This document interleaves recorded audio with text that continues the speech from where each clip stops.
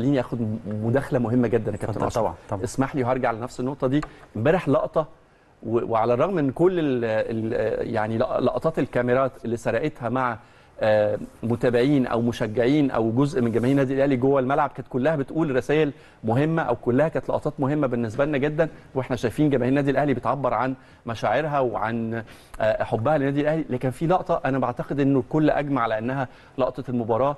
لقطة خطفت القبول قلوب كده الحقيقة ويمكن آه، اختيار آه، جريدة الأخبار برايل للقطة دي وللشخص ده عشان تطلق عليه ر- رجل المباراة. أعتقد كانت في الجول بجد الشيخ والقارئ آه، أحمد إبراهيم. طبعا دي صورة آه، آه، آه، الغلاف آه، غلاف آه، جريدة الأخبار برايل man of the match للشيخ أحمد إبراهيم اللي ظهر امبارح وخطف قلوب كل الأهلاوية وهم بيتابعوا المباراة. الشيخ أحمد إبراهيم كابتن أشرف معانا على التليفون.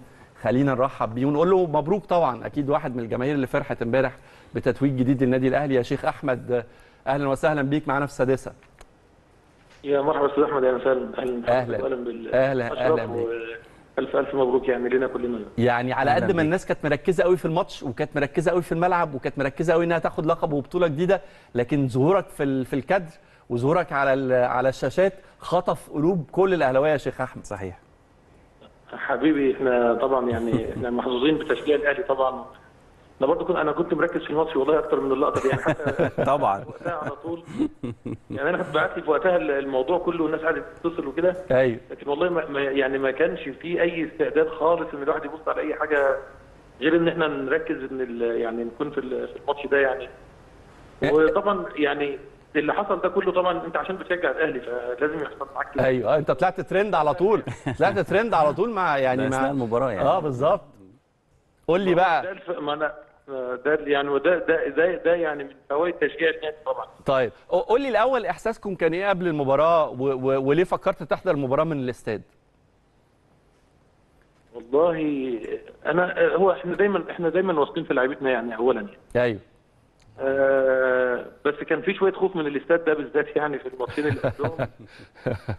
آه بس سبحان الله يعني يعني آه كان عندي شوية تردد وبعدين خلاص قررت إن أنا أروح يعني. آه. لكن إحنا دايما ما شاء الله لعيبتنا رجالة يعني.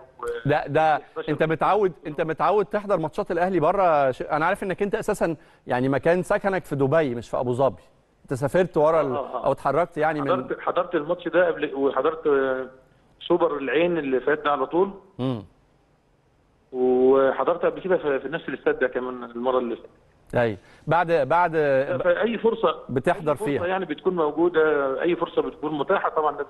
آه وقول لي أخبار ردود الأفعال إيه عندك في في في الإمارات في أبو ظبي كانت أو دبي بعد فوز الأهلي والتتويج لا اولا آه، يعني طبعا ما يفوتناش في الوقت ده إحنا نشكر دوله الإمارات يعني على الاستضافة الجميلة و...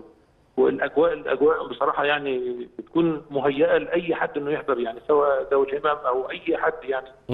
آه، بتكون ال- الأمور صحية جدا وليك مكانك الخاص ومكانتك وكل شيء يعني ما شاء الله. فهم وطبعا آه، لا آه، الاهلي مكسبه عيد في أي مكان. يعني. أيوه أكيد. الله عليك عرفت إن هم اختاروك رجل المباراة في جريدة الأخبار آه، أو في صحيفة آه. الأخبار برايل؟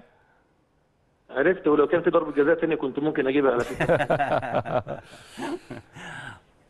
تحب تقول حاجة منور يا؟ شيخ أحمد و... و... وأنا سعيد جدا الحقيقة ان ان إنك بتتابع بالشكل ده ويعني و...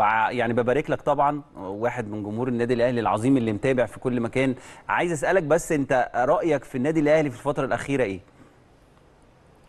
والله لا بصراحة ما شاء الله يعني الموضوع الموضوع في تقدم كبير وكل ماتش أحسن من اللي قبله. و... والحمد لله الإصابات يعني بتقل الحمد لله. وطول ما إحنا إحنا عندنا أحسن لعيبة في مصر يعني.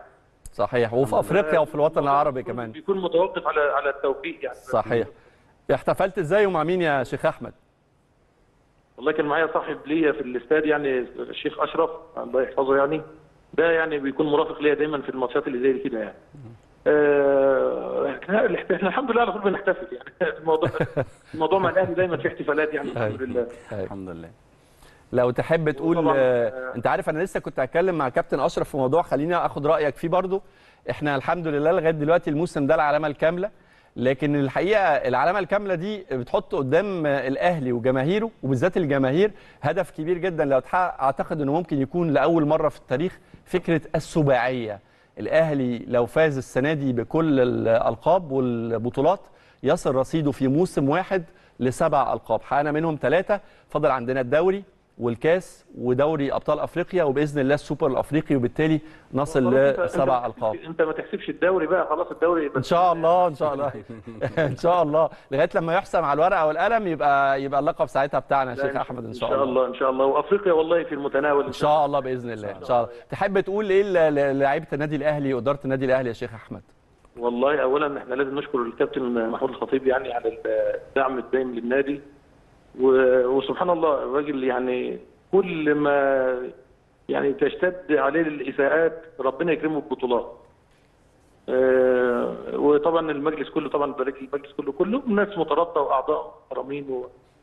وناس بتقدر بتقدر النادي وتقدر جمهوره وكده. آه، كذلك طبعا اللعيبة كلهم يعني حبايبنا وإخواتنا و... وربنا يوفقهم ويبعد عنهم الإصابات وكلهم على أخلاق عالية يعني ما شاء الله وأنا يعني دايما دايما حتى بالذات لما يكونوا في دبي لازم بنروح نزورهم ونسلم عليهم ناس يعني متواضعة وناس محترمة و... والناس تليق بالنادي يعني. أنا اتشرفت جدا بالمداخلة دي وسعيد جدا إن أنا أسمع صوتك وهكون أسعد وأسعد لو شفناك إن شاء الله في ماتشات الأهلي المرة الجاية إن شاء الله بإذن الله نكون حاضرين في ألقاب وبطولات جديدة وتكون حاضر في الملعب يا شيخ أحمد. إن شاء الله إن شاء, إن شاء الله, الله. و- و- وانتظروا بس محمد أحمد ابني. إن شاء الله يعني نقدم لكم لعيب كبير بس. يلا الله. يلا يلا وإحنا مستنيين. إن شاء الله. أسعد. والسنة الأولى فري ما تقلقش. أس... أسعدتنا يا شيخ أحمد إبراهيم. طبعا نجم ولقطة مباراة امبارح. كنا سعداء ب... ب... بسماع صوتك معانا في السادسة.